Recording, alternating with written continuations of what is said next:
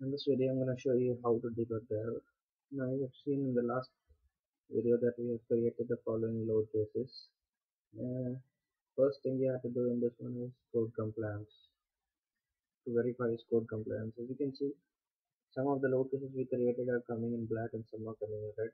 This red numbering it indicates that there that code compliance is failed in this one in these cases. So you can see, first we got this operational and our first U1 case. See, you can see these are the nodes at which our code stress maximum the point here it will give us the maximum code stress that is under this and allowable value is this. So now you can see here all are under the load given load conditions. As we go down and down and down here you can see at node 270 the code stress is going beyond the allowable stress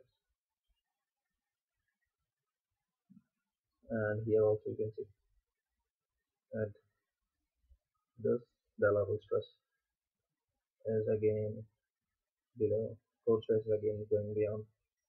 So now just try to rectify this. First we will see at what node points there is a deflection and we'll try to some restraints in those at those node points? First 270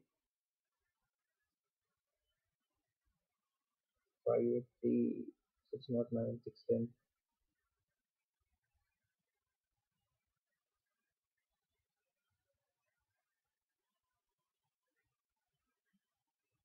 okay. So we are getting error at 580 610 and let us try adding some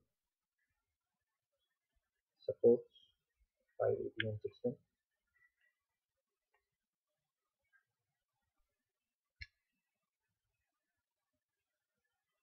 uh, let's see where is 580 I think it is somewhere here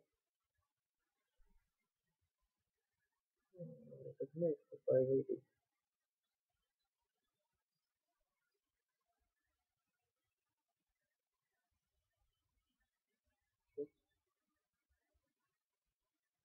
so now let us go to the node 580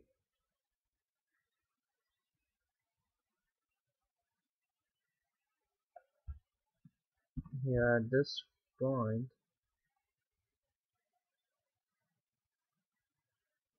again 610 let us go for 610 and verify there. Yeah let us try to make it. Restrain both y. Condition yeah. Mm, let us go and again check that whether the value has gone down or not. At 16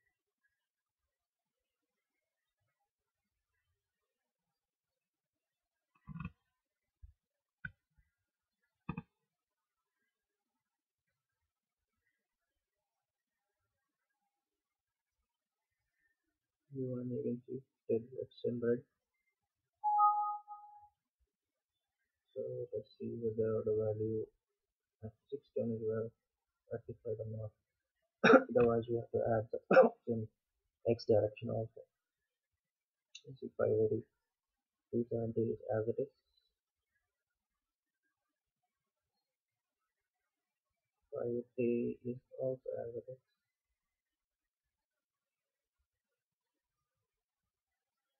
the 610 and here it is so I think we need to add in restraint in x direction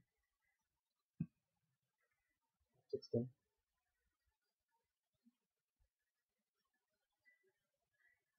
let's try adding a restraint in x direction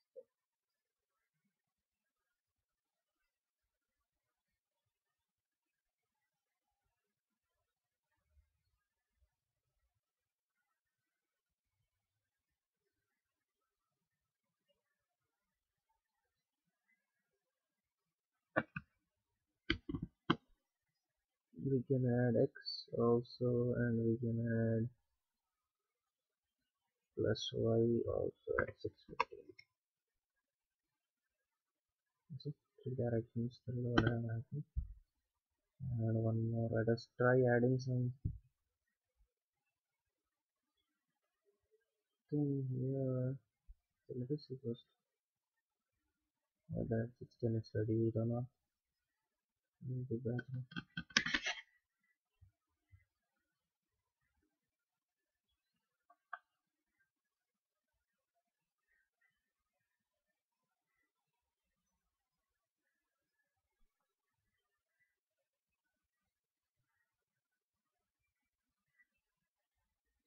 you can see now the event has come to black. So it means that it is under now. The allowed value so the points where the error was coming was at this point now it is come under. Due to the load at 610 580 point was also getting stressed. Now that is also under under under the allowable stress value. Now at 16 you can see the value has decreased to 100 that's under so now here we have solved v1 similar way you have to solve u3 and solve in one by adding supports at the point where the load is coming maximum. Thank you